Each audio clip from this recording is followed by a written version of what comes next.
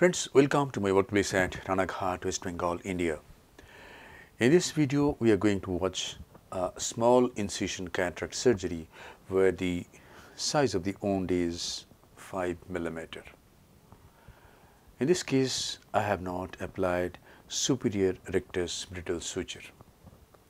A side port has been made at 9 o'clock, conjunctival peritomy has been done.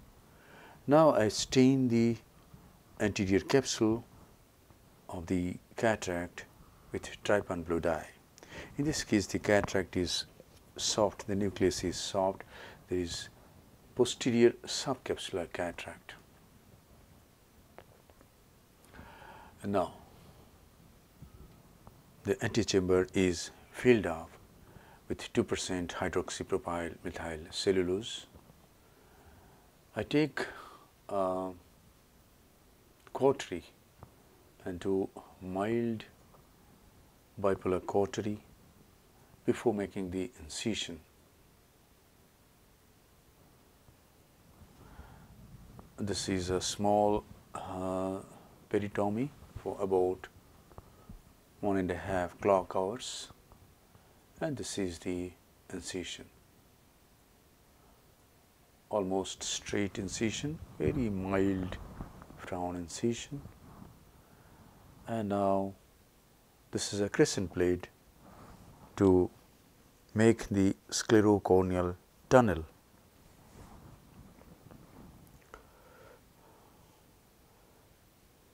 The tunnel goes into clear cornea for about 1.5 millimeter.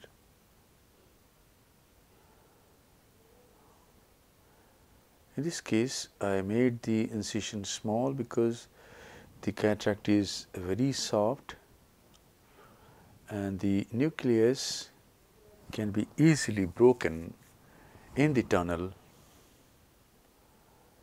This intra-tunnel fracture of the nucleus has been widely described by Dr.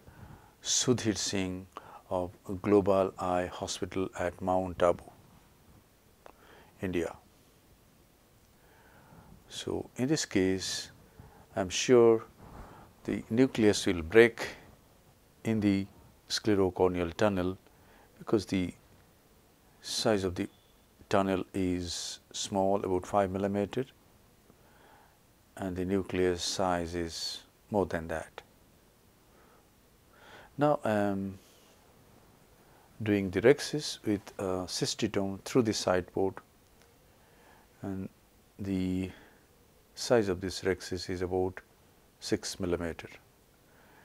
In SICS, the size of the rhexis should be such that the nucleus should prolapse easily out of the capsular bag into the anterior chamber. And now the keratome goes to the anterior extreme of the tunnel and the tunnel is opened. The cut is made when the keratome goes forward. And now hydrodissection is done, very gently hydrodissection is done and see what happens. The nucleus prolapses out of the capsular bag because the rhexis was large. Now we can see that the nucleus is quite big, about 7 millimeter in size, where the wound is only 5 millimeter. So, the nucleus has to break in the tunnel and I will make several attempts to remove the broken pieces.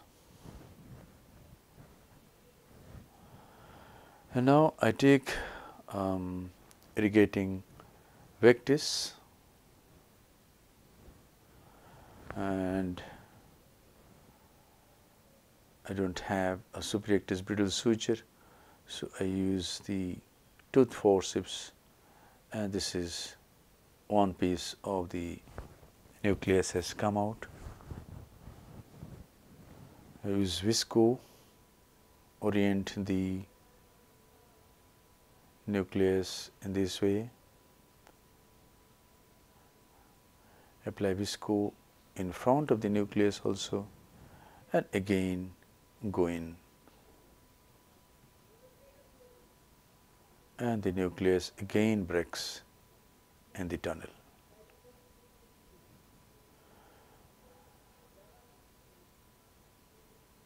Again it breaks.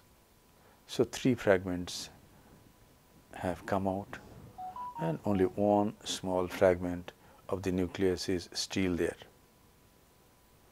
So, inject some more visco and this is the last portion of the nucleus and it comes out easily.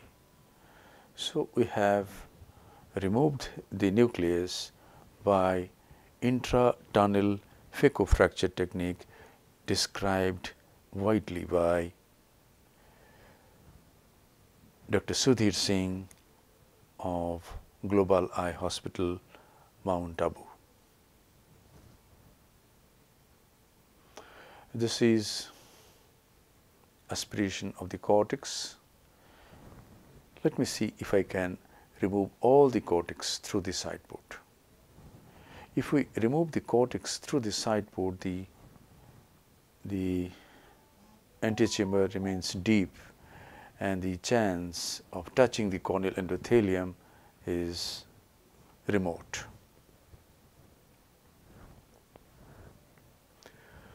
So, the cortex has been removed and now in this case my plan is to implant a hydrophilic foldable intraocular lens.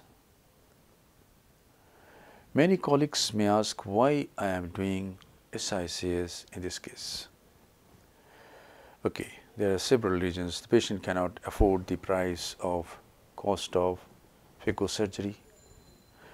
Those uh, posterior subcapsular cataract could be PPC also.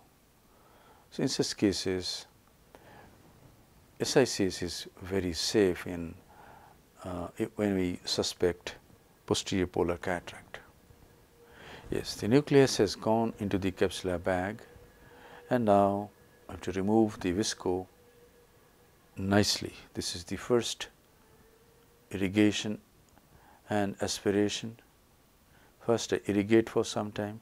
Now I am irrigating the capsular bag, again the irrigating the anterior chamber. So this is one, step one. I will take several steps to clean all the visco from the antechamber. This is again irrigation and aspiration.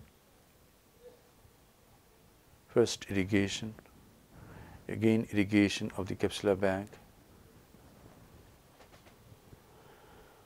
This is almost unedited surgery. So, the you are not missing anything and the surgery is should be very useful for those surgeons who want to do SICS. Now this is beta of moxifloxacin. Let us see the size of the wound. This is 5 millimeter. One end to the other end. The inner opening may be 6 or 6.5, but the outer opening is 5 millimeter. Both the lips of the wound are nicely apposed.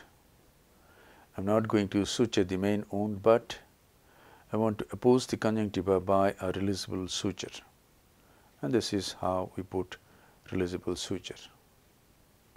Before tying the releasable suture, I want to do a final lavage of the anterior chamber.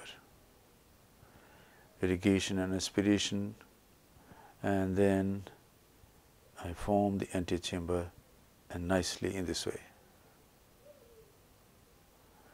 And now I take gentamicin and dexamethasone and give this injection here so that there is conjunctival chemosis and the conjunctiva comes forward. And now I I tie the suture to make it a releasable suture we take 3 loops hold and pull. That is it. And now we cut the threads if we pull the longer thread it will come out it should be like that and the case is done Thank you very much for your attention. Hope this video will help you in developing your surgical skills. Be a great surgeon and serve your patients with love, respect, empathy and great surgical competence.